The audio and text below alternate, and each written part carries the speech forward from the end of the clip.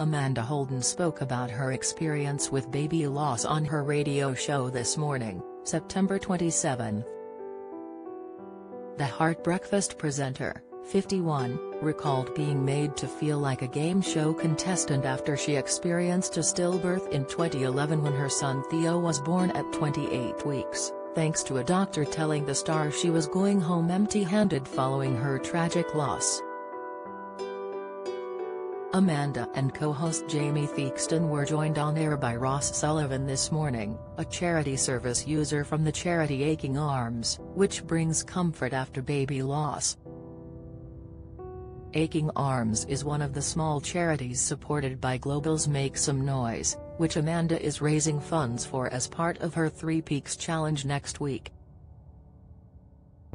Speaking live on air this morning, Amanda recalled her own her awful experience and her hopes people will learn to avoid the triggering language used with her in the wake of her loss, adding how the charity she is working with will be helping people to avoid and educate them on how best to deal with something so awful.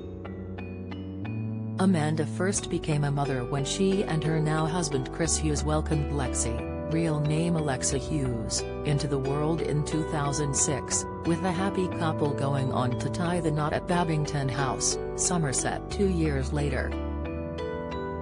The star then became pregnant with a second child in 2010 but sadly suffered a unimaginable tragedy, when her son Theo was born stillborn at 7 months old in 2011. The following year, the couple were delighted when their second daughter Holly Rose Hughes, now 11, joined the family in 2012 following medical complications. I will never forget when I went through something, that I would imagine is very similar to your experience, Amanda began when speaking with Ross on the radio this morning.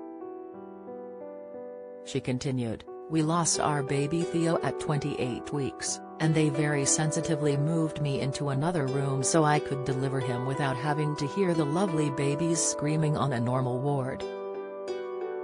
Often that's not thought about, it's little things like that. I remember the lady afterwards as well when we went for a chat also said I know you're going home empty-handed is what she said to me.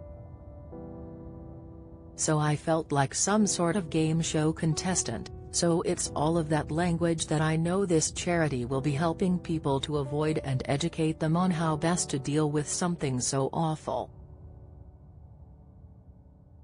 It's just awful. Earlier this year, Amanda was flooded with support from her Instagram followers, as she posted a photo of tiny footprints on what would have been Theo's birthday, captioning the post, You would have been 11 today. I'm still grateful you chose us for your journey. Hashtag Theo. Theo will always be part of our family, Amanda previously explained to You magazine. You would have been a year older than Holly.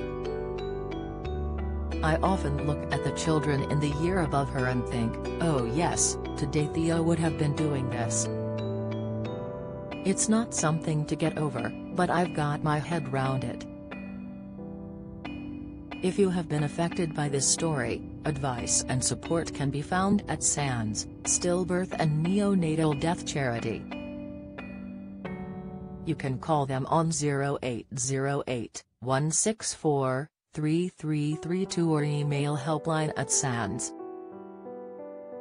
Org.uk follow Amanda and her epic journey on Heart's socials at This Is Heart, on Heart co.uk and by listening to Heart, the home of feel-good music, on 96 to 107 FM, on DAB digital radio right across the UK, on Global Player on your smart speaker, play Heart, iOS or Android device and at Heart. co.uk